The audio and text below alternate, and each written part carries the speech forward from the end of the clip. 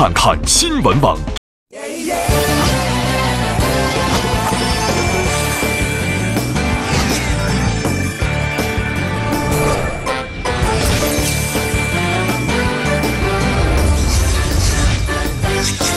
百里挑一，我是唯一。上海的朋友，你们好吗？也太美。你不是保送复旦大学吗？你的智商是多少呢？一百四十八。天才少年，请大家来做一个小小的游戏，计算出大家什么时候可能会结婚。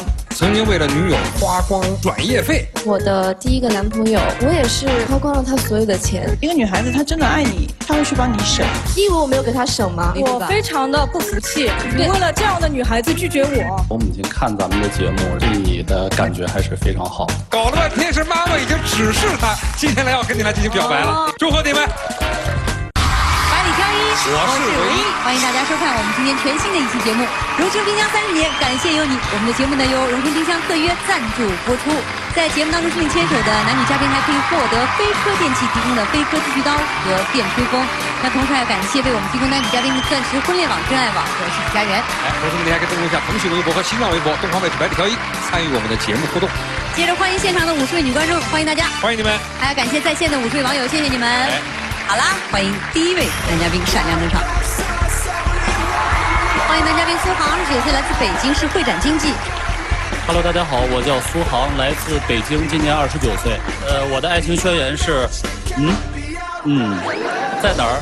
在这儿。哦，是这个意思啊。好了，那来看看今天有什么才艺要送给大家的。带给大家一首歌曲，萧敬腾的《王妃》，谢谢大家。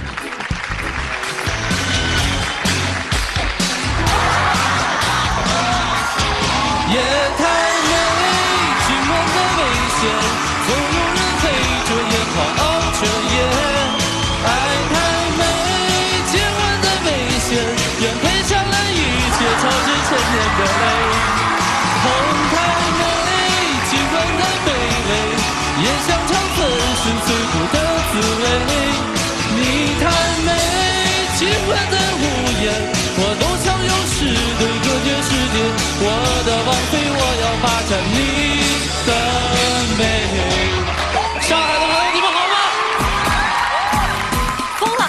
还真行啊！我跟你说他真，把自己当巨星了。那真是而且你拿那话筒啊，真的要拿的自信一点，一把托起来你就这么走，你要这样，你知道吗？来吧。好，来选择一下你心仪女生的号码。哦，是这个号啊，这样，苏杭再按一下电脑吧，电脑也为你选配了一位女生。这个能不选吗？哦，你不准备选择这电脑？对对对，万一他要准了呢？万一准了是吗？啊，试一试吧。好，这更直接，人家只是选择哎，不，不看，这你不能看。他干脆就选择不选。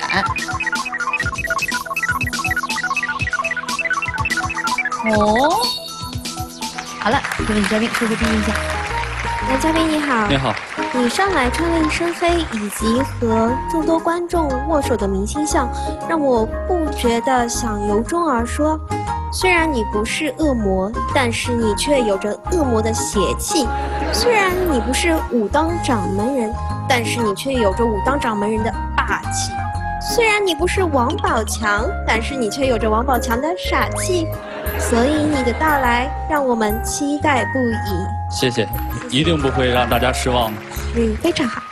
男嘉宾你好，听说上有天堂，下有苏杭嘛，那我就希望你是那个苏杭，带着我去那个苏杭，然后我们一起玩，就是很支持你，很支持你。谢谢他就是想玩玩苏杭。真直接。男嘉宾，我觉得你的眼睛很小，老是眯眯眼。你笑的时候，我就想跟你说，Can you see me? Can you see me? 我觉得你应该闭上眼睛看不到我了。然后我觉得你挺可爱的，挺搞笑的。谢谢谢谢，实际上我是睁着眼。呃，嗨们，我觉得男嘉宾长得有点像小沈阳，有没有人说你长得像呀？真的，从远看你很像小沈阳，你把眼睛看下来看着我，像吗？真的有点像小沈阳。我来看看你后边的表现吧。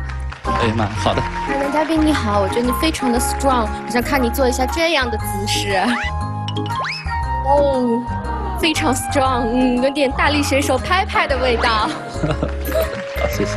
好，那我们来通过 VCR 认识男嘉宾。Hello，大家好，我是苏杭，来自北京，今年二十九岁。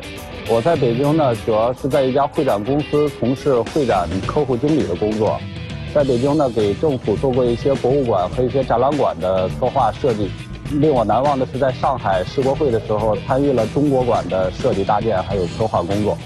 我曾经在二十五岁的时候做过艺人经济的工作，因为我觉得做艺人经济这一块呢，在市场上没有一个核心的竞争力，所以我转行去做了现在的会长工作。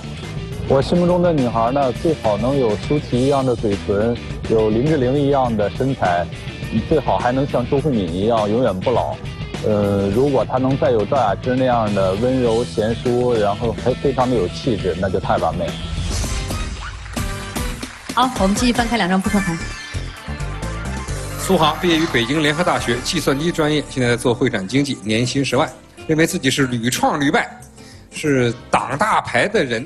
你这挡大牌的人跟行规是什么意思？这个就是在做一些艺人经纪的时候，可能是不成文的规定。比如说，第一次我参加工作的时候，刚见到明星，我也很兴奋。然后我在想啊，动力火车，我上来我第一句话我就在讲啊，你好你好，我是听着你的歌长大的。然后我就突然意识到这个气氛非常的凝重。然后我看了一下我在场的同事，然后就用一种杀死人的眼光看着我。我说艺人可能最忌讳听说是啊，我我是怎么怎么样，听着你的歌长大，看着你的电影长大，对对对，怕说自己过气了。啊。嗯，因为前面有了动力火车的这个一次经验和教训吧，然后后来再碰见我心目中的女神赵雅芝的时候，我就心里边使劲努力的往下压，即便她她一个小小的一关心吧，都会让我暗爽到内伤。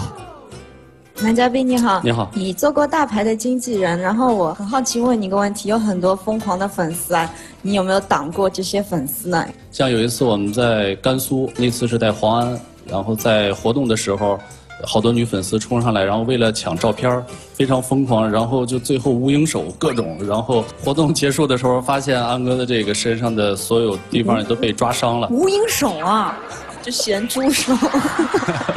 然后衣服什么的也都被拽开了，所以说当时这种情况是经常见的。是这个参与建设中国馆哦，你还现在做健美教练？呃，这个是以前了，在高中初中的时候。我看也是以前啊，太直接了吧？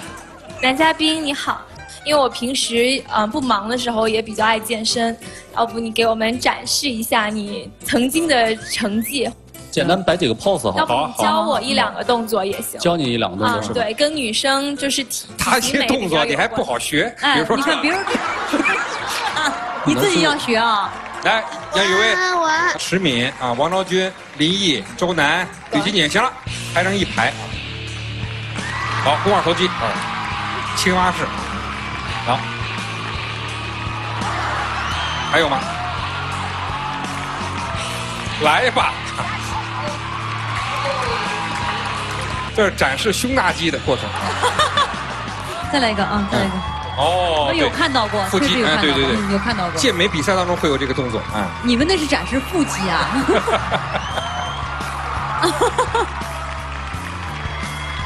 谢谢谢谢谢谢，嗯，来谢谢各位女嘉宾。好，谢谢苏杭啊。男嘉宾你好。我比较好奇你说的屡创屡败，能讲一下吗？嗯，这个是在我即将毕业的时候，然后那会儿生活比较拮据，那个时候也不愿意去给家里增添压力，所以当时不知道哪儿来的勇气，然后想去闯一闯。呃，后来是买到了很多的经验和教训，在比较拮据的时候也睡过天桥，然后也睡过公园所以这段经历是让我很难忘的。你都参与过哪些投资啊？呃，我这边投资过餐饮，后边做过电子商务啊，服装。那你这些年亏了不少啊，对吧？对，这些年是对。陈嘉宾你好，看你经历过很多嘛，我非常能体会你这种感受，希望你加油。还有就是，我刚才看你 VCR 里说你喜欢舒淇的嘴唇，就是很厚的香肠嘴是吧？那你看我的，看我的厚吗？没事，你过来看。我以为可以过来亲呢，你看。非常性感，谢谢。就是我周围有些朋友喜欢厚嘴唇的女孩，有一个理由，是因为亲上去的时候很软。有的时候可能是饿了以后，可能看看她的嘴唇，也可能就饱了，像香肠。好，第一阶段的交流就这样。如果各位女嘉宾喜欢这位小伙子，请为他投票。来，准备一下，三、二、一。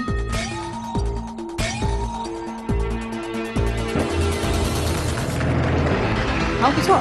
来，继续翻开后两张扑克牌。苏杭谈过三次恋爱，但是呢，因为母亲而放弃了初恋。他希望找身高一米七以上，得是他妈会喜欢的持家的女生。哦，你初恋是因为母亲反对，什么时候谈的恋爱？在我二十二岁的时候。哦，那你初恋还挺晚的。二十二岁才初恋啊？也上大学了。那妈妈为什么要反对呢？主要其实我母亲可能是第一眼缘可能不是特别喜欢这个女孩，然后感觉可能这女孩她一些穿着打扮啊有一些另类或者是一些新潮，后来就是散掉了。所以我们为什么想问这个呢？因为你后面要求也很重要，是你妈妈会喜欢的。由于你的母亲反对你初恋就放弃了，所以我们就想知道你妈妈喜欢什么样的这女生。嗯，是这样，因为我呢是单亲家庭，然后我是从小就是跟我母亲一起长大的。呃，我母亲对我倾注了很多很多的母爱。记得是我两岁的时候，家里经济非常的紧张，那会儿的医院还能去卖血，然后我母亲去，天哪，呃，对，去卖血，然后去维持家里边我的奶粉。哎呦，所以说我对我母亲是基本上是属于言听计从的。对，很多都说爸爸妈妈给过爱，但是卖血的我们第一次听说，那就说明真的是拿生命在给予他爱啊。这个，所以我们也非常理解，说会一定要尊重妈妈对这女孩子的喜爱。男嘉宾，我觉得你很尊重你的母亲，但同时你一定要知道你母亲喜欢什么样类型的女生，然后你再去选择。因为被伤害的女生她也是无辜的，就是因为你母亲，你可能不能跟她走到最后，然后你就被迫放弃，对她来说是浪费了她的时间，她也是很无辜的。感谢女嘉宾给我提的这个建议，我觉得我母亲想要的，其实我心里非常的清楚，她想要的就是一个女孩，她能独立。他能勤俭持家，具体一些可能就是不管你工作多晚多么累，然后你到了家里能有一口热的饭吃，包括你哪怕是衣服的扣子掉了，很简单，他能去替你想到这些，能记在心上，这个就可以了。我这个以前采访过很多的单亲家庭，被妈妈含辛茹苦带大的很多这男生，结婚以后往往这个婆媳关系都不太好处。为什么？因为母亲觉得我为这个孩子我辛苦这么多年，我希望找的一个女生呢，对这个男生得特别爱。你稍微有一点不好，哎，你看，怎么能让我孩子伺候你呢？我都伺候我孩子这么多年，你这个女孩吃完饭把筷子一撂就不干活了，她在这方面会经常会发生一些问题。我特别想知道，苏杭，如果你真的找了一个女朋友，她很独立，但她就是不太愿意干家务活，她也不愿意伺候你，她甚至觉得你应该多帮帮我。你会怎么处理？但你妈妈会看不过去。那我觉得最低的要求，可能至少要在我母亲面前，可能要去，不要过分让我母亲去去觉得你是你是这样。对，哪怕你是装，你最起码是也不会很长时间。毕竟不可能在一一就是一家和我母亲一直住在一起。对，男嘉宾，刚才一致强调就是说你要找一个妈妈喜欢的，其实我觉得你还是要找一个你自己喜欢的，因为你要跟他走完下半辈子。如果你妈妈不喜欢，你要说服你妈妈，让她喜欢这个女孩子。我会去用我现在的这种人生的经历，然后还有我的现在的方式方法，我去和她做沟通，去交流。因为之前那会儿我说了，就是比较年轻嘛，就是可能不会去懂那么多的东西，所以说。问题就出在这儿。我觉得很多时候，男人在这个社会上面责任很重。他在面对他妈妈和他自己老婆的时候，他像一片夹心面包被夹在中间，得罪谁都不行。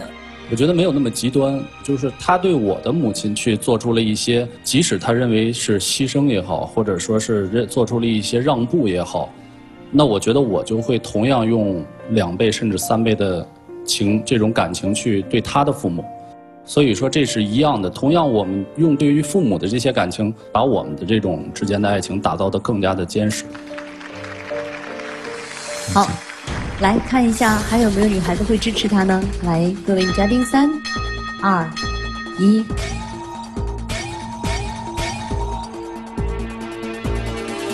来，那还有什么样的对女孩子的要求可以提出来了？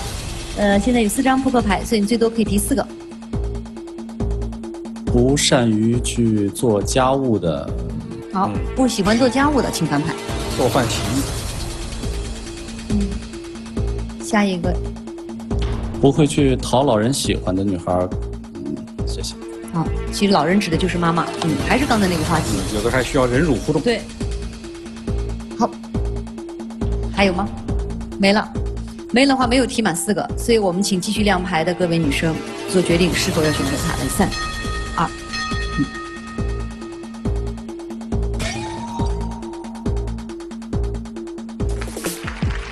来，有请二号、六号。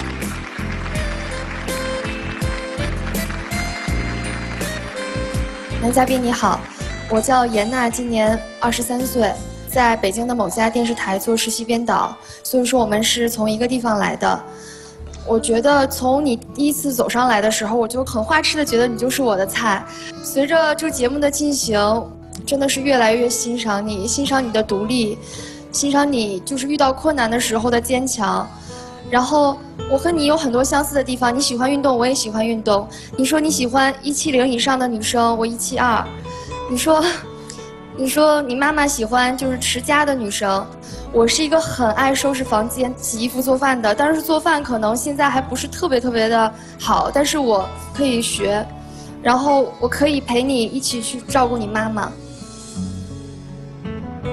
我希望你可以带我走，谢谢。谢谢。好，王梦涵。男嘉宾你好，我是王梦涵，我也来自北京，呃，我也一米七二。然后呢，我越到最后看你的牌，越到最后听你的问题，我发现我真的可能挺懂你的。我跟你很像，你有创业，我也有。然后你是单亲嘛，然后我也是。然后你说你是北京人，我也是北京人。然后你说你喜欢女孩一米七以上，我一米七二。然后你说你喜欢舒淇嘴唇啊，你说我的也挺厚的。然后就这么多算下来，我有五点要跟你有共通的地方，所以遇到你真的非常难得。而且我的爱情宣言是找一个人陪我看星星，有你在，我觉得我就可以体会到那种看星星的感觉，那种幸福。还有最后最重要的一点就是，如果我们能在一起，你陪我来孝顺我的妈妈，我陪你孝顺你的妈妈，然后让这个两个老人都能度过非常非常幸福快乐的晚年。希望你考虑我，谢谢。好，谢谢谢谢谢谢。苏杭先不用回答，虽然你很不情愿的按了电脑，但你还是按了。对，嗯，有一个电脑也为你选择一位女生。你想不想跟这个女生有一个二十秒钟接触机会？是电脑选的是吗？电脑选的。你相信电脑吧？你本身学计算机专业的，你觉得电脑找出这个女生有没有它一定的合理性？嗯，我觉得应该会有吧。哦，那你愿意跟她有一个二十秒钟接触机会喽？嗯，我愿意。愿意。电脑为你选的这个女生呢，是十一号王昭君。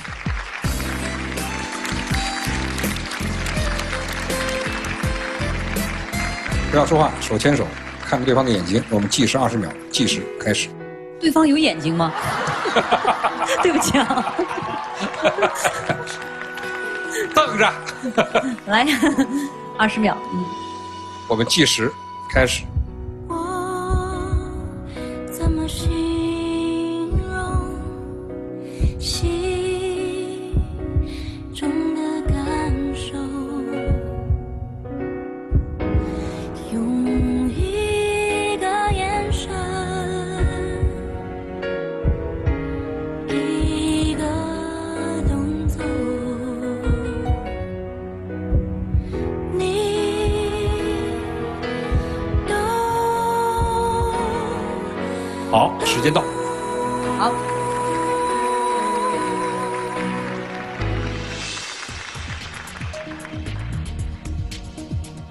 们要问你一个问题：看见他的眼睛了吗？看见了。看完之后，打算给他一次机会吗？可以。哇，苏杭，可以啊。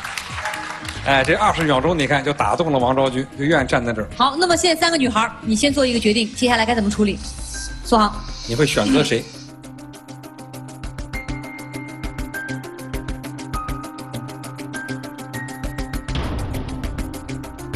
其实我的心动女生呢就是十一号王昭君，所以我觉得另外两位女孩呢，非常的漂亮，而且非常的可爱。但是今天我来的目的，我就是要带走王昭君。那么谢谢两位女嘉宾，请回。谢谢两位女嘉宾。很早就选择了十一号王昭君，没错而且确确实实在提问的时候只关注了王昭君，甚至于拒绝我们的电脑对为他选择。对啊，哎，王昭君，你为什么一开始没给他留牌？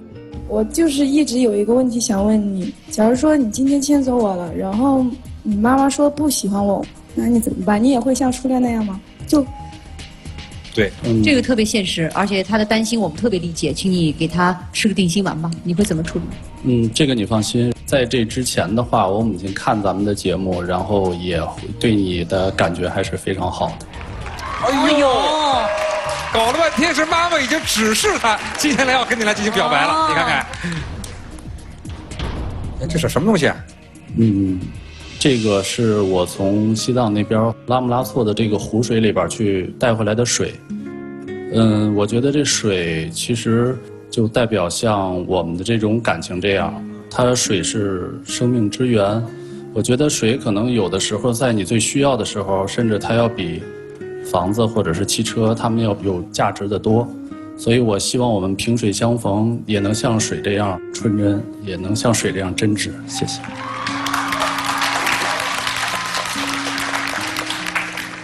昭君，现在一切都取决于你。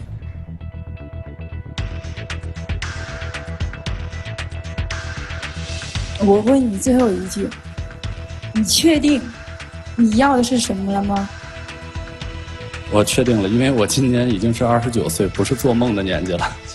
哎，这句话倒是有过经历的了。对，有过经历，年龄合适，事业还可以。虽然遇到很多挫折，但是他依旧是屡创屡败，但是屡败屡创。这个小伙子是有目标的。王昭君怎么样？愿意给他机会吗？嗯，我想尝试一下。好，谢谢。来，耶我们这期节目全新的礼物啊，分别送给你们。男女嘉宾分别可以获得荣升埃菲尔系列冰箱提供的电压力锅和挂烫机，还可以获得飞科电器提供的飞科剃须刀和电吹风。祝贺你们！来，牵手而归，再见。谢谢大家。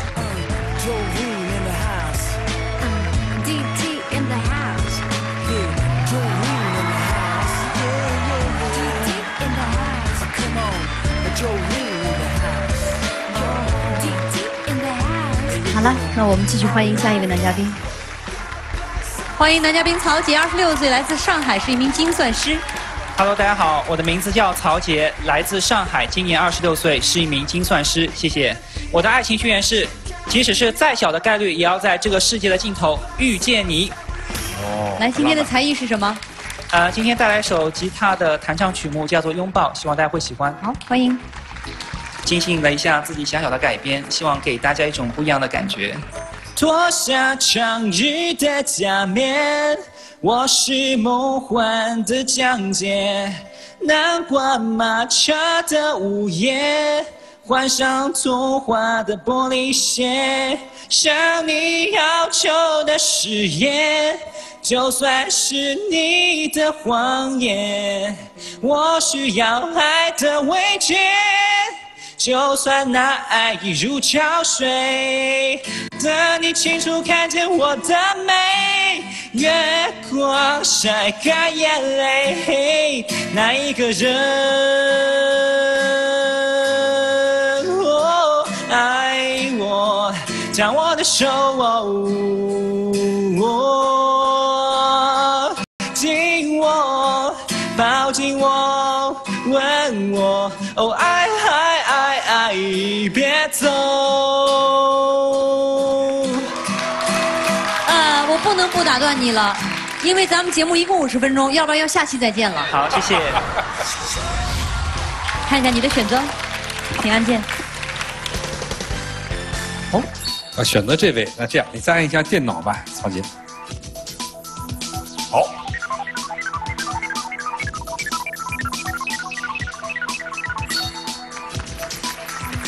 好了，来各位女嘉宾说说第一印象。男嘉宾你好，你好，你的歌唱的十分的动听，也十分的长，有种让人神醉心往的味道。正所谓对清风，拂琉璃，影无踪，一层痴狂一层味，层层涟漪惹人醉。我们都陶醉喽。谢谢。我想你的诗应该比我的歌还要再长一点吧。好像没有诶。男嘉宾你好，我是数据分析师，我是在期货公司工作，所以我们呢算半个同行。对，都是在金融行业的。是对对，据我的分析，你应该是一个披着精算师外表的文艺男青年，弹着吉他清唱拥抱，一般都是那种小清新做的事情啦。其实我是一个比较非主流的精算师。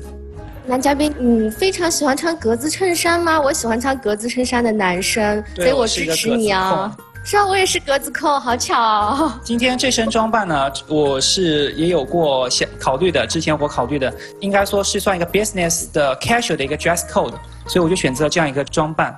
哎，我觉得非常好看。要死，说了一句话里面只有三个字是中文。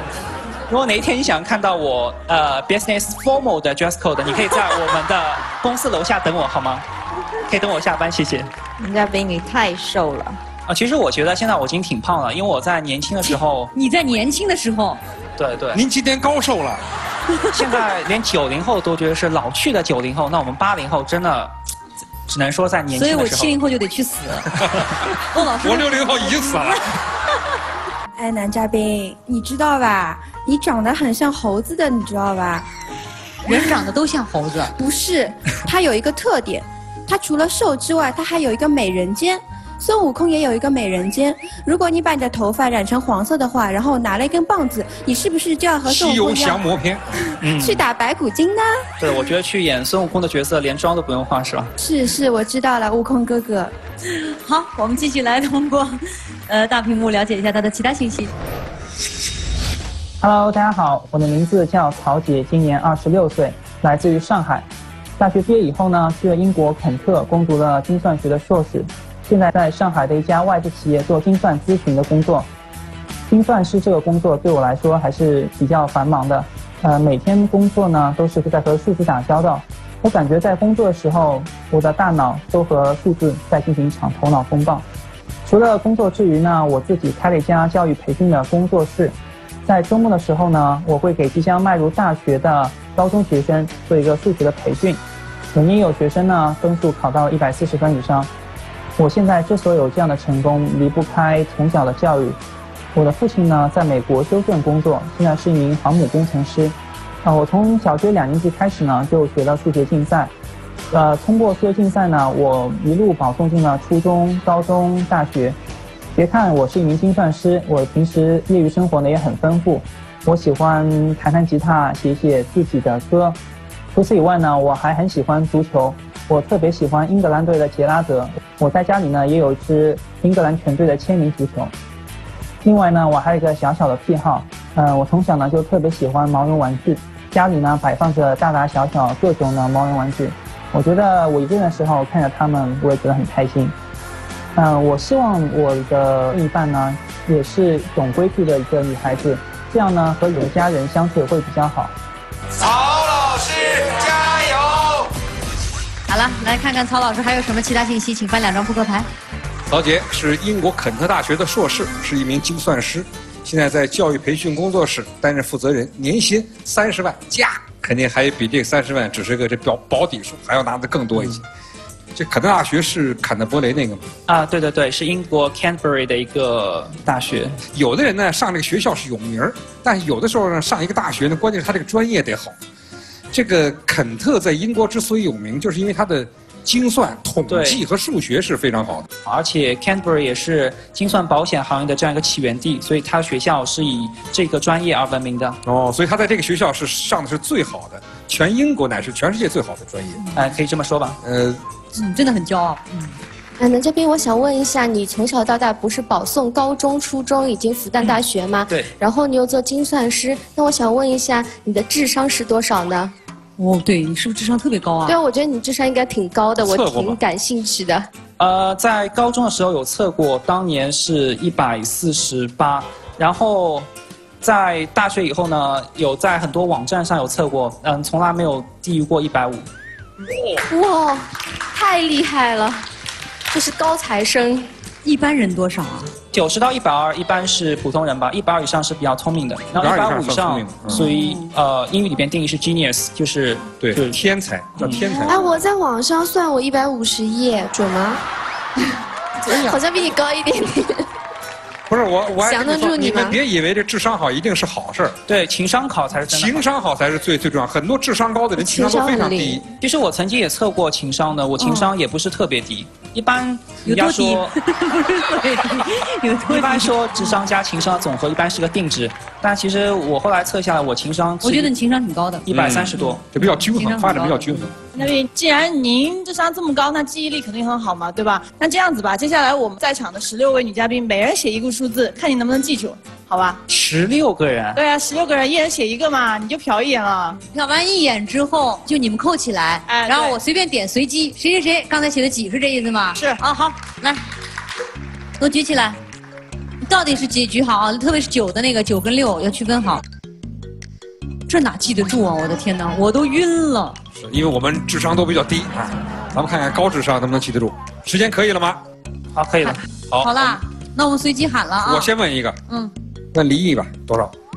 解释七，对吗？哦，太厉害。那好，我们再问一下，呃，吕欣姐，应该是八，为什么？因为刚才我看到他的数字的时候，看到了他的姓，哦，这是个形象的记忆法。哦，这是这种方式那我来点你。十名，不是五就是七，好像我记得里面没有人写五，好像。九七零三十一对吗？应该是一，不对，驰名是几啊？八。好，那我们再再来一个啊，再来一个，嗯，再问一个啊，三号周呢，一。哦，好，这个真的很厉害。太厉害。那好，我们再问一下，呃，杨雨薇，写是三吗？哦呦，哦，可以呀、相当可以，测验成功，这成功的几率其实很高了，已经太厉害了，这已经天才少年。精算人生，说自己是曹大忽悠。曹大忽悠呢，这忽悠是打引号的，因为我自己开了一个教育培训的工作室嘛。那么我在开课的一开始呢，第一堂课都会给他们去看一样东西，这个东西是我在复旦的学生卡，然后看看当年青涩的我啊，还是个小屌丝，是吧？我告诉他们我曾经是怎么样去读书的。每个人看过以后呢，都会觉得，嗯，其实他们离梦想的距离真的没有很远。而且我当时希望每个同学把自己的梦想能够告诉周围的人，那么相当于你的周围人都在无形的监督着你，有无数多只眼睛看着你，这时候你不努力就不行了，对不对？所以这个方法其实是非常容易成功的，就是我们要把大声大声的把梦想喊出来。男嘉宾你好，是什么样的一个原因让你开了这样一个培训工作室？在我进大学的那一年之前呢，就是我有幸获得了一个中法交流项目，呃，全额奖学金的。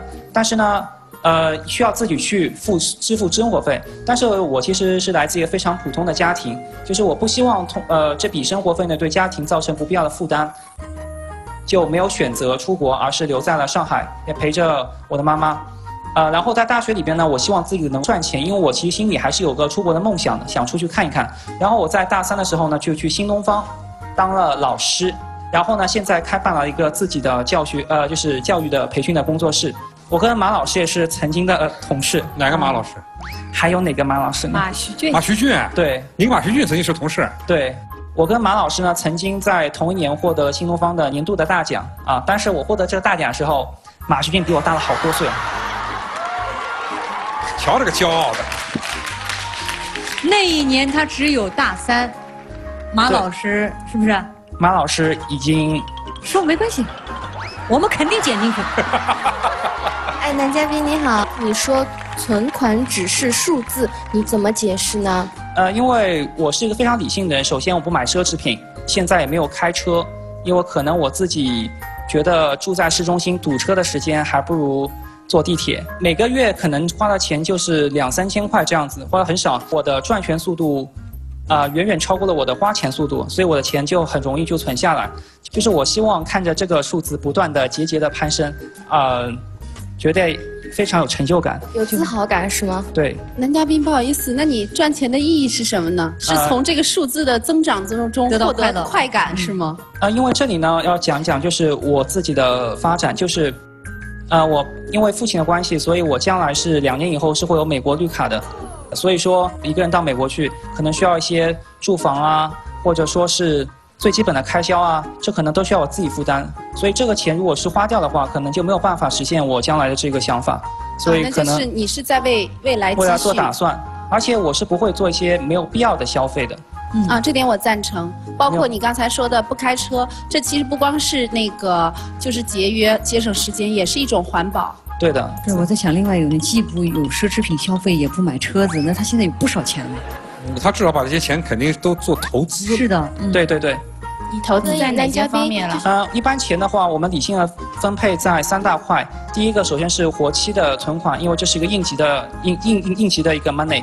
然后会做一个定期的定期的，基本上风险是比较小的一个理财产品，现在比较多的。定投那么还有定投，那么还有部分呢，我是把钱投资在一个。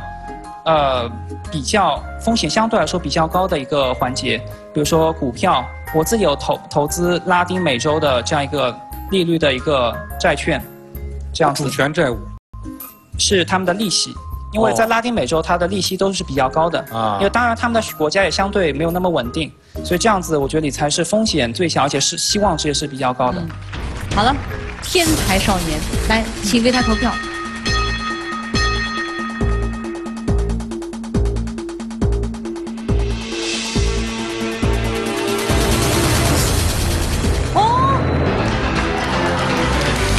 什么事情？你哎我们继续凭你的敏感，对啊你说什么事情会出现什么情况？难道全部都翻翻翻牌了吗？你也太不自信了吧！来，继续翻开后两张扑克牌。曹杰谈过五次恋爱，被嫌太幼稚，爱浪漫，有一个恋爱中的数学。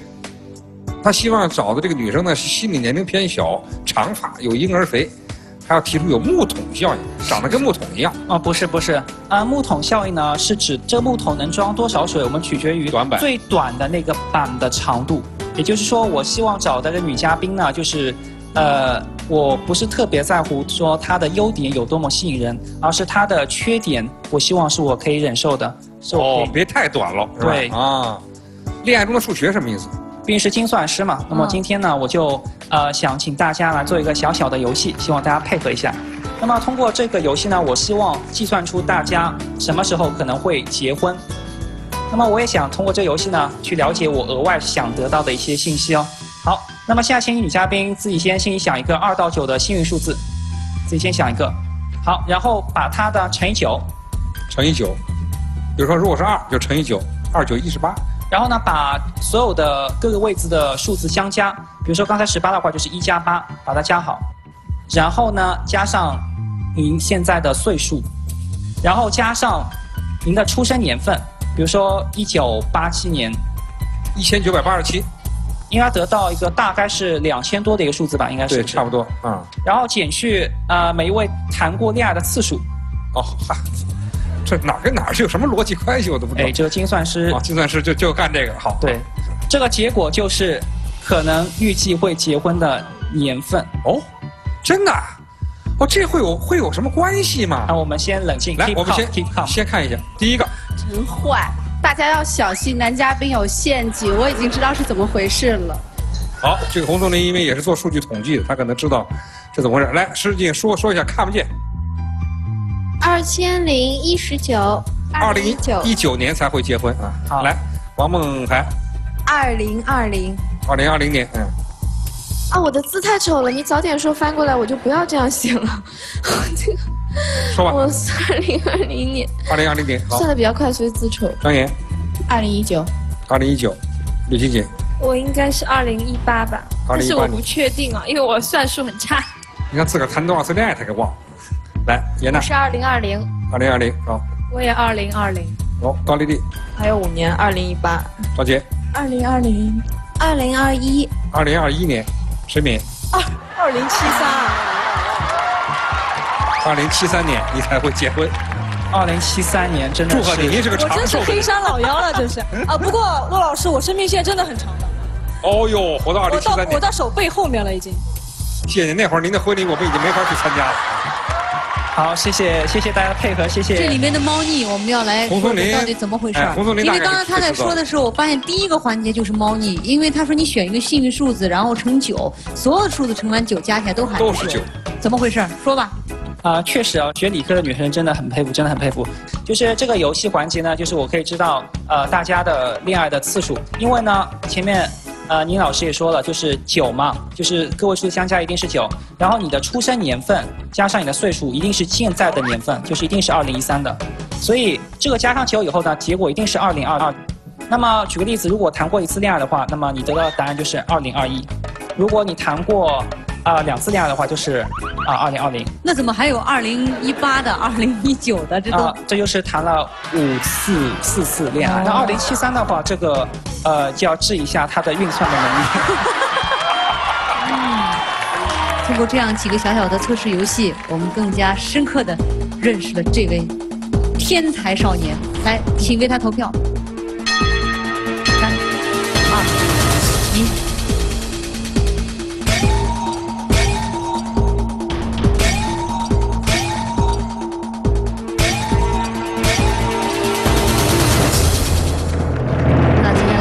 对女嘉宾的要求。呃，不是每天洗澡的请翻牌，这个洗澡包括洗头发。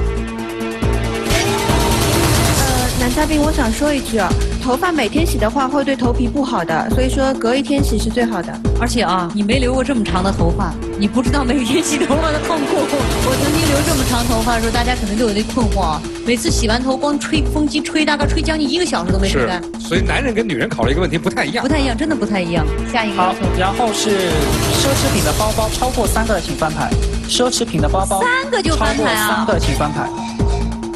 才三个你就让人家翻牌，因为奢侈品它的一个价格的需求曲线是往上的，就是说它的价格越高，买的人越多。我觉得这是一种非理性的消费，对我觉得不是很理性。买涨不买落啊，下一个要求还有吗？没有。好，没了的话应该没提满，所以舞台的各位可以选择一下是否要继续选择。来，三、二、一。有请七号杨雨薇、十三号池敏、十五号李培韵。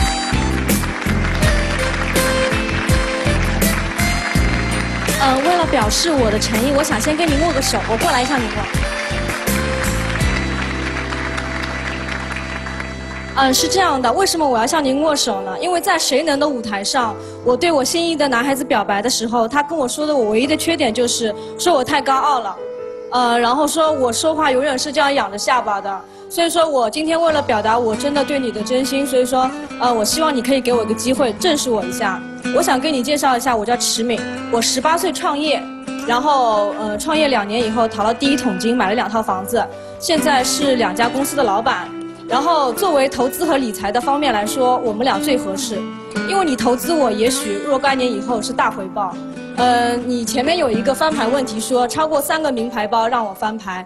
我妈妈在呃国外十二年，她给我买过十二个名牌包。这不是说我愿意要这个包，是因为说她觉得她对我的愧疚。我自己从来没有买过奢侈品，也没有买过超过两千块钱以上的衣服。所以说，谢谢女嘉宾的真诚。我很坦白的，就是说我很喜欢你，我希望你能够给我机会了解，然后把我从这个舞台上带走。来，于培运。男嘉宾你好，我先自我介绍一下，我叫于培运，现在从事职业是助理工程师，我也是一名标准的理科女生。然后前面你说了你的择偶标准就是有一点婴儿肥，然后脸上看上去肉肉的，那我正好脸上看上去肉肉的有福相嘛。我是一个标准的上海小女人，我觉得你非常的理性，然后我觉得像你这样的上海男人非常的难得。既然在这里遇到了你，我就非常想站下来向你表白，这样子，嗯，我希望你能给我一次机会。谢谢。来，第三位，男嘉宾你好。你好，真的很惊讶。你你先不要说，先不要说话，现在你不要说话，你听着。嗯，其实我是一个比较脾气不太好的大小姐。呃，你的浪漫情节，你的理财思路啊，都是我缺少的，所以我就勇敢的站下来。其实我真的不太会表白，但是心是比较真诚的，希望你能接受。嗯那请你做决定吧。面对三位女孩子，说出你的想法选择。谁？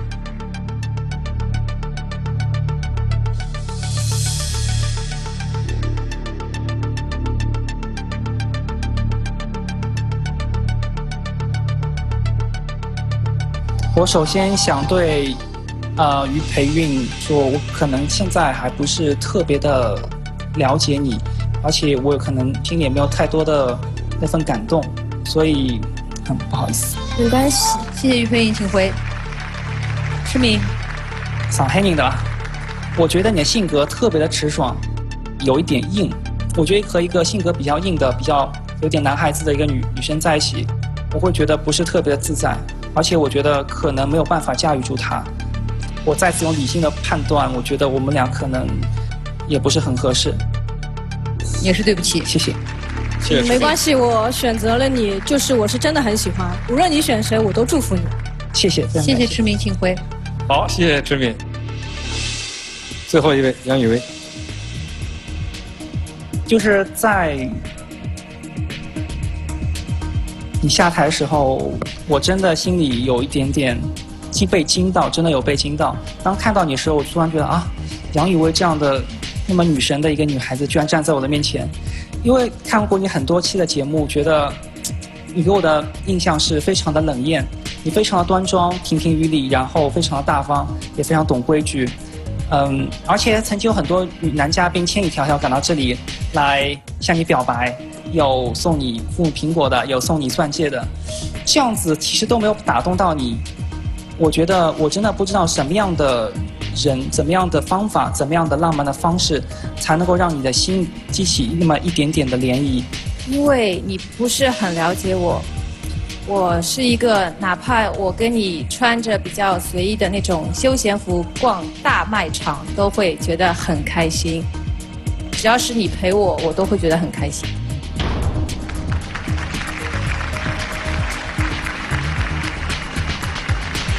呃，首先我还是想说，我是一个真的非常理性的人。首先，我觉得杨雨薇真的在我心中是一个女神的形象。而其实我想找的女孩子，就是在我身边活蹦乱跳的，每天回家以后可以给我惊喜的这样子的一个女孩子。我可能觉得我们在这方面不是特别的合适，不好意思，谢谢。哦，连杨雨薇都拒绝了。我以为他要答应他，所以前面拒绝了两位。没想到对于杨雨薇，你也认为因为我觉得现场有一位更加合适我的女孩子。好吧，杨雨薇，咱回吧。这位就是你在我手机上按的这个号码吗？是的。那么我为大家揭晓了。还是这个人，三号，周楠。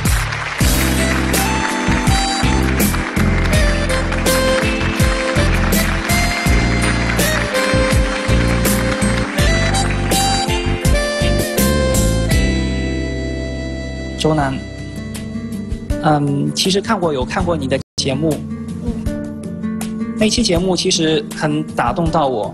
首先，我觉得你的长相很吸引我，因为你有时候有一点点婴儿肥，而且有点小女人的感觉，我觉得特别符合我梦想当中女朋友或将来老婆的这样一个形象。然后，我觉得那期节目的话，可能得来的非议会比较多，但是我觉得你是个非常真诚的人。首先，你对朋友和男朋友之间界限是非常分明的，不会有任何的暧昧，我觉得这点非常好，是一个想清楚再谈恋爱的女孩子。这样子的话，我觉得和这样子女孩在一起，可能风险会比较小。然后，我今天想送你一样我带来的一样小礼物，是有多小？非常的小。好，无论多小，请接受它，谢谢。啊、这是我的一个弹吉他的拨片。自从我弹吉他开始呢，这个拨片呢就带在我的身边，然后后面有刻我的名字。然后我觉得今天我看到你觉得特别的激动，我觉得非常的漂亮。然后你打扮的很像仙女一样，感觉就是有到童话中的漫游的感觉。所以我想唱一首《情非得已》。只怕我自己会爱上你，不敢让自己靠得太近，没什么能够给你，爱你也需要很大的勇气，只怕我自己会爱上你，也许有天会情不自禁，想念只让自己苦了自己，爱上你是我情非得已。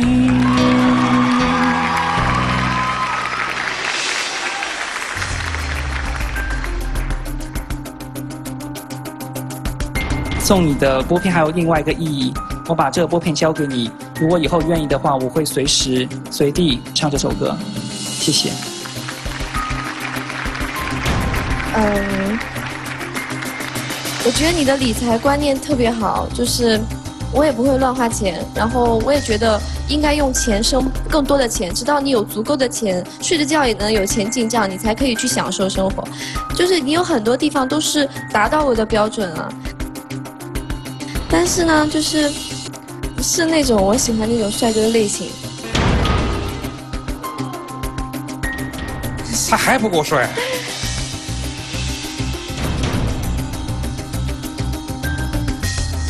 拒绝了，就是说啊，呃，这样的其实我想说拒绝啊？，我想说就是，其实我平时你想这样的，你说了，人家都给你拒绝了，你还说，他嫌你长得不好看。没有没有，不够帅，不是不好看。那如果我真的但是我不是你的告诉你啊那个菜的话我告，诉你啊那我肯定没有办法这。个小伙子真的很好，很棒的一个小伙子。我知道，就是陈立瑜很帅，但你肯定不知道，如果知道，你就不会有这样一个拒绝的理由。你肯定不知道他的好。就这样吧。这算是对你的拒绝，没办法，这就是缘分。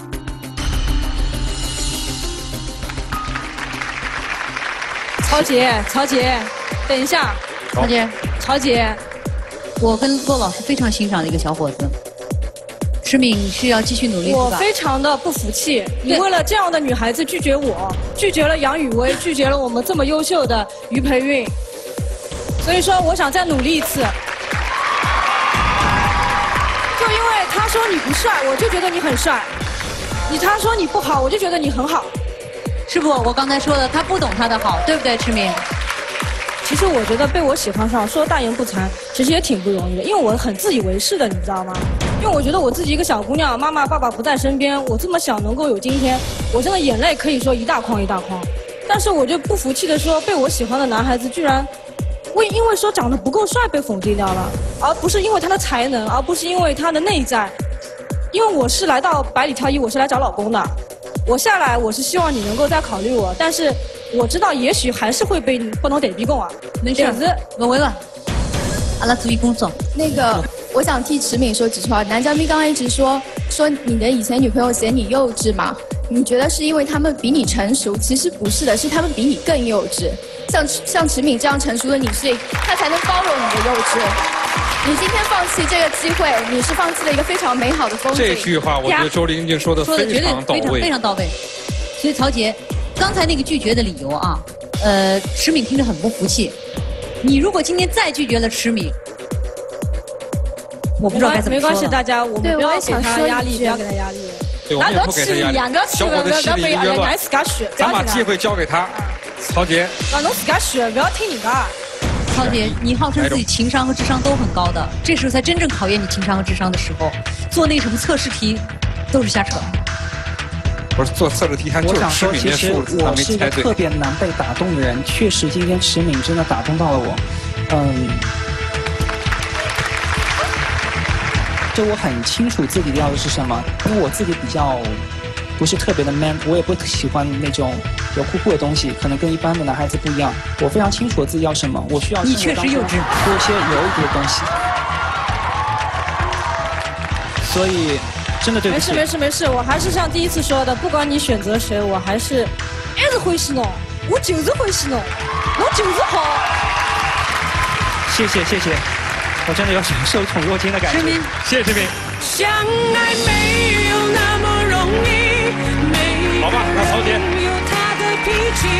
今天你也就能这样就离开这个舞台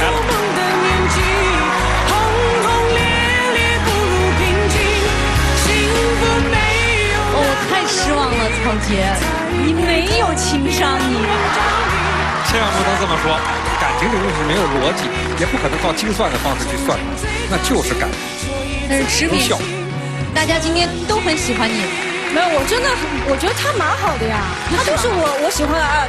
老师，你还记得吧？我说我喜欢那个智慧型的，有经济头脑的，我不需要他是富二代，我就要做富一代。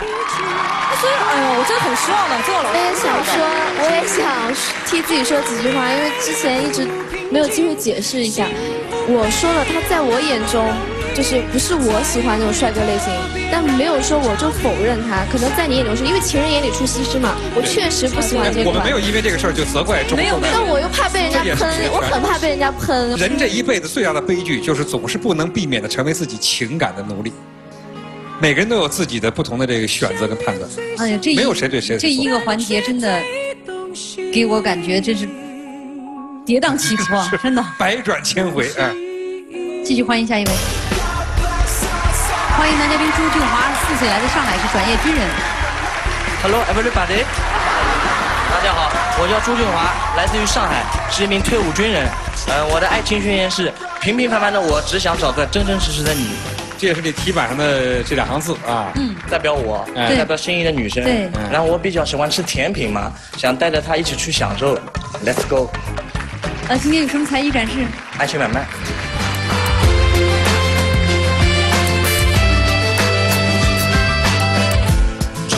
了的爱，逼着我离开，最后知道真相的我眼泪掉下来。充满我的爱，你背了良心债，最后知道真相的我眼泪掉下来。当初是你要分开，分开就分开，现在又要用真爱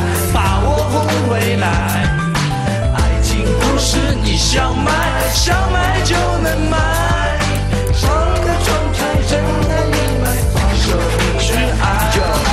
行了，呃，给你个机会，我觉得你这是在喝醉了酒以后唱的歌，来吧，来吧。来，请选择你心仪的女生。哎呦，哎呦，哎呀，让我们觉得很惊艳啊！来，摁一下电脑，小叔，好，看一下电脑为你选择这个女生。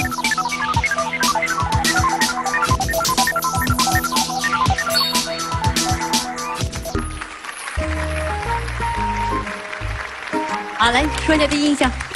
男嘉宾你好，你刚刚选择唱《爱情买卖》这首很纠结、很狰狞的歌的时候，你的表情也是很纠结、很狰狞的，所以你好像在说思绪在这里挣脱，纪念曾相爱过，只怪时间犯了最美的错，所以我想说，真爱来时不要躲，别退缩，有爱就要大声说。是谢谢谢谢。男嘉宾，你唱歌的时候，我有一种很想下来跟你一起唱的冲动。这首歌是我去 KTV 必点的，而且我会拿个纸巾在那边甩啊甩啊甩。下次有机会一起唱。呃，男嘉宾你好呀。你好，哎，刚刚我注意到一个细节哦，就是你唱歌的时候，对吧？那个手哦张得这么大一个，你是要抱一个大胖媳妇回家吗？部队的关系嘛，然后训练方面都是幅度比较大，所以有时候 自己没注意。呃，男嘉宾就是二十四岁啊，长得确实感觉比较着急啊，就是有点超前。然后你刚才唱这个《爱情买卖》，我觉得你没有唱出那种欢快的忧伤感，哎，哎，欢快的忧伤感，这什么感觉？这是？杨文倩比较在行。音乐起，又又出卖我的爱，逼着我离开，最后知道真相的我眼泪掉下流下来。好，谢谢。哦，这个就叫快乐的忧伤感哦。男嘉宾你好，嗯，我看到你是个转业军人嘛，所以你的可能行行动和你的表情就属于那种比较严肃嘛。但是我对兵哥哥很有好感，加油哦！谢谢。我们一起来看一下男嘉宾的一下。大家好，我叫朱俊华，来自于上海，今年二十四岁，是一名退伍军人。我是零七年入的伍，二零一零年很荣获了优秀士兵，然后我是去年十二月份退伍的。政府嘛是嗯打算四五月份给我分配国企的工作，但是最近几个月我也不想闲着，所以找两份兼职，一份是督导，还有一份就是在朋友的烧烤店当大堂经理嘛，管理管理。嗯，我平时兴趣爱好十分广泛，特别跟运动有关系，平时特别喜欢球类，虽然说不精，但是至少都会。嗯，特别喜欢足球，而且我自己的球技也不错。我喜欢的女生是温文尔雅类型的，又有点淑女气质，平时对长辈特别有孝心。我心仪的女生，等我来向你亲自表白吧。好，看完立夏，我们继续翻开扑克牌两张。钟雪华毕业于南京军区陆军指挥学院，目前呢是等待分配，而且呢已经是备有婚房了。原来他是当过捅过马蜂窝的消防兵，自己呢还是一个兼职达人。掌上明珠和英雄情节放在一块儿，这什么意思？就是平时在家里嘛，父母就是把我当宝，比较宠，然后就是说掌上明珠。独生子女，对就你一个啊。对。等待分配是现在你已经转业了，对，已经转业了啊。然后三四月份政府分配，分配的去向大概知道了吗？嗯，基本上是国企或者事业单位吧。国企或者事业单位。好，呃，婚房是家里买的，自己住了一套，然后家里买的。你看这一看就是掌上明珠的，掌上明珠出来了啊！父母把这房都给他准备好了。但是我觉得爸爸妈妈不容易，能把他当掌上明珠，也可以把他送到部队去吃苦锻炼。对对。男嘉宾，你在家里是掌上明珠，家务会做吗？会做会做。当兵前或许会有那种依赖性，然后当兵五年以后回来嘛。就自己的事情自己做，自力更生嘛。哦，五年啊，那这五年训练辛苦吗？辛苦。消防兵跟其他的有没有什么训练不一样的地方？平时的话，出火警什么，嗯，一来就要出的，就随时都在这危险的地带在工作。对对对。嗯，我们以前看那个电视里，大家可能看过啊，那个消防兵演练什么，噔噔噔噔噔就爬到四楼了，这都真的。什么噔噔噔就墙上就翻过去了，你们都有这种训练吗？嗯，爬过。我们体能训练是一楼到十八楼，两分钟登上去。两分钟一楼跑到十八楼去？哦呦。那我就问你，你训练这么长时间，救过什么大火吗？就是有一次是那个奉贤的大火，零八年吧，我们那次是去支援嘛，两天两夜没回来。进火场了吗？我们是支援的，假如说人手不够，人家再冲进去。预备队。对，差不多，但是一定要也要在原地待命。男嘉宾，我想问一下，就是除了你奉贤那场备军，你平时还呃，你以前还有什么英雄情节？平时我就一直比较崇拜消防员，当兵前，然后后来有一次就是大火嘛，然后我去，我就感觉自己很荣幸，做英雄。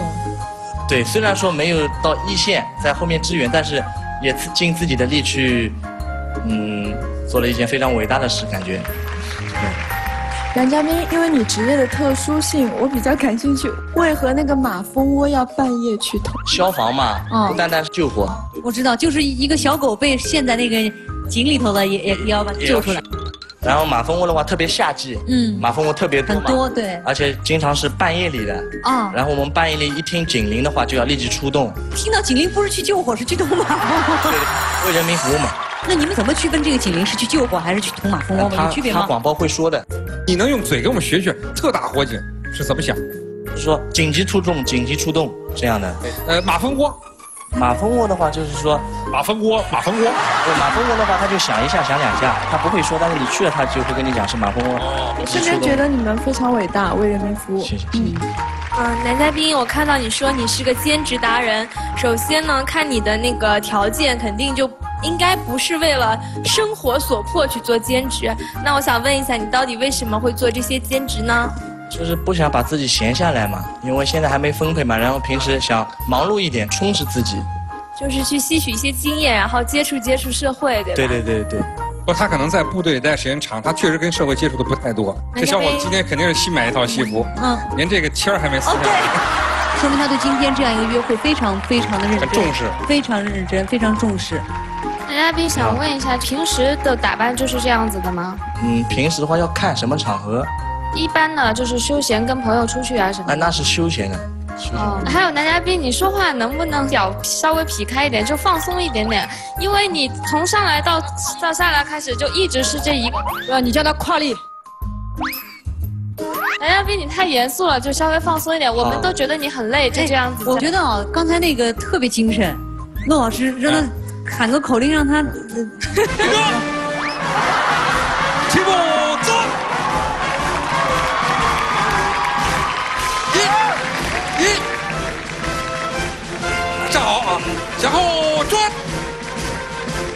步走。好，对，好，立定，向后转。好，来，我们为男嘉宾投票，三、二、一。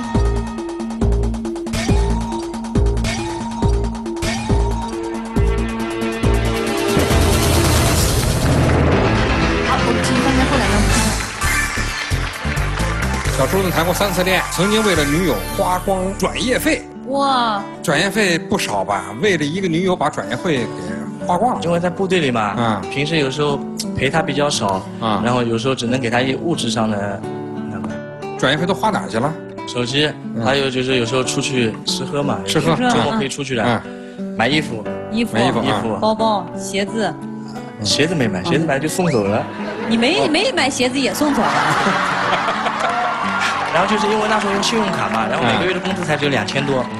但是就这样为他花光了转业费，还是因为家人反对而分手。因为谁家人反对？他们家人。他们家人你们家人呃，我家里，你们家里人反对？对，觉得这女孩儿实在不是太物质了嘛，太物质了。嗯本来就军人，就对工作很辛苦，对不对？然后还把工资花光啊，还对转业费都花光。就是，嗯但是呢，他现在呢就接受各种类型的女生，呃，还特别强调必须对我有感觉。男嘉宾你好，你让我想起了我的第一个男朋友，他那个时候工资大概也就一千多块钱，我也是花光了他所有的钱，但是我跟他在一起一年的时间，我们也经历了很多东西。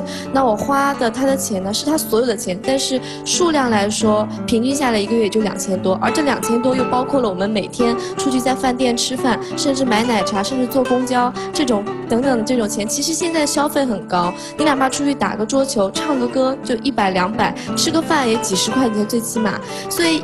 一个月下来，其实两千块钱一天下来，我还不到一百块花的，但是他就会觉得我花光了他所有的，所以怎么讲呢？我觉得你只是这样说，可能会对，就是让很多人对你那个女朋友造成很多误解，所以我觉得需要帮他说说话。呃，男嘉宾周楠不是说呃帮你的女朋友分析一下什么的吗？那我想说，如果是一个女孩子，她真的爱你，她愿意跟你一起奋斗的，就是当初我刚毕业到上海的时候一样，我跟我男朋友每个月工资也就一千多块钱，然后也是一样要租房子，要乱七八糟的开销啊什么的，也是过过来的。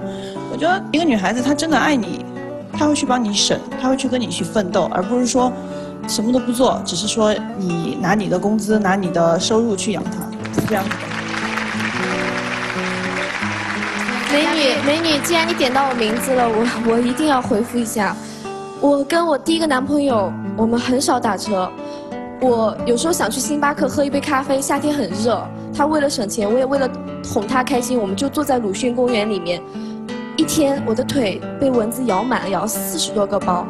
你以为我没有给他省吗？而且这一年不是说我只花他的，我也有花我的钱。因为我这个人，我比较不喜欢闷，我喜欢唱歌，我有很多娱乐活动，那都是需要花钱的。而且我们每天见面，所以我都说了，你不了解一个东西，可能你会产生很多误解，所以我必须要说一下。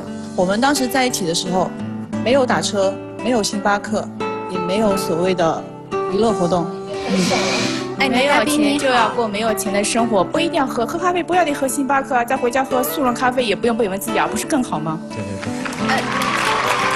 男嘉宾你好，有没有之前关注过我们百里的节目？有一个女生，她是从澳洲回来，她叫盛敏，她的个人经济条件很好。她在最后表白的时候，她说一句话，我非常的欣赏。她说：“两个人谈论感情，我为什么可以跟你谈论？因为我的经济完全的独立，因为爱情永远是在经济完全独立，把物质抛出之后再谈感情。所以我希望你以后选择不要把物质作为你的这个爱情的衡量观之一，而是要把这个东西刨出。你如果没有名牌西装，没有名牌的一切一切，没有你的钱财，他愿意跟着你，这个是爱情。如果说没有这个东西，他不愿意跟着你，或者他会嫌苦嫌累的话，你要考虑一下，这是不是爱情？好谢谢。突然间发现咱们这女孩子都成熟了，真的，姑娘们说的都特别好。家啊是放爱的地方，不是放钱的地方。男嘉宾在这个过程当中，确实不是。要教你什么，就是我们觉得我们心疼你，因为我们大家就都觉得你挺好的，把你当成朋友了，我们都交心了，所以我们十六位女嘉宾，大家都蜂拥而至的跟你去去谈述一些东西，希望你也能够去啊、消化一下。知道，谢谢谢谢。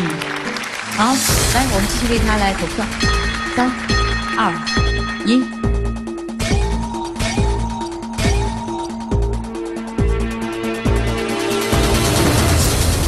来，接下来请你提出对女孩子的基本要求。就是晚上十点前不能回家的，十点以前不能回家的，请翻牌。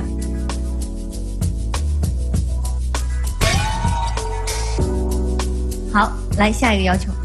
不喜欢打扮可爱样子的，请翻哦，喜欢打扮成御姐，不打扮可爱型的，请翻牌。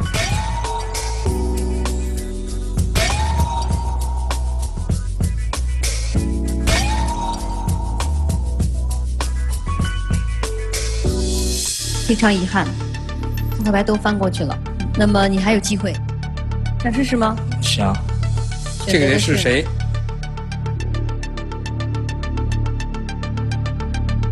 赤金影。